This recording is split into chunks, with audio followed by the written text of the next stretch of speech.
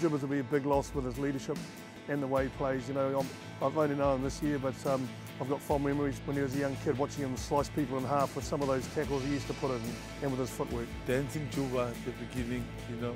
Ever since, you know, you scored that try with a Gangnam style dance afterwards, I think your rugby just, you know, escalated from there. What a wonderful player, you know, with great attitude and played with awesome feet and tackled hard and close to legendary status in, in Western Province and in Cape Town.